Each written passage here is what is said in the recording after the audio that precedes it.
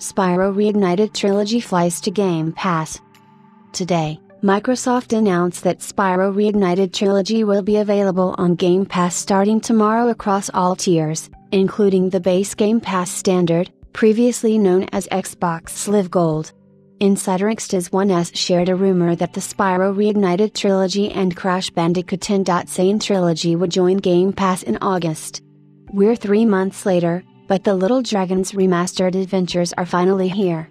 The game collection was originally released six years ago for PlayStation 4 and Xbox One, and our Francesco De Meo showered it with praise, except for some technical issues. The Spyro Reignited trilogy doesn't just play great but also looks great. Graphics have been redone from scratch, and they make the game almost look like a Pixar movie, with excellent animations and colorful, detailed locations. Sadly, performance isn't as great. The game runs at 30 FPS on the original PlayStation 4 model, and there are some evident frame pacing issues. The frame rate also drops here and there, so the experience isn't always too smooth. The soundtrack can also be a bit hit and miss, especially the dynamic soundtrack, but it's also possible to play through the game with the original music from the PlayStation games. Voice acting, on the other hand, is spot on at all times.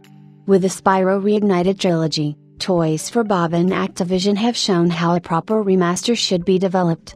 All three games are incredibly faithful to the original releases, and the few additions make everything here and better.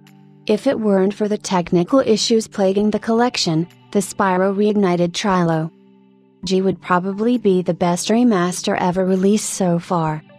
Those problems shouldn't be too prevalent on the way more powerful Xbox Series S vertical bar X and PC hardware where Game Pass users will check out the trilogy, though.